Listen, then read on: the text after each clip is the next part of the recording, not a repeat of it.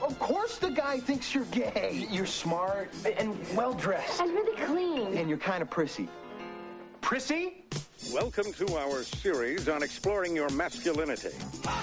Paramount Pictures and Spelling Entertainment present a story about a man who was pronounced out. I may hire an attorney. I may sue. Get Johnnie Cochran. In and out. Repeat after me. Yo. Yo.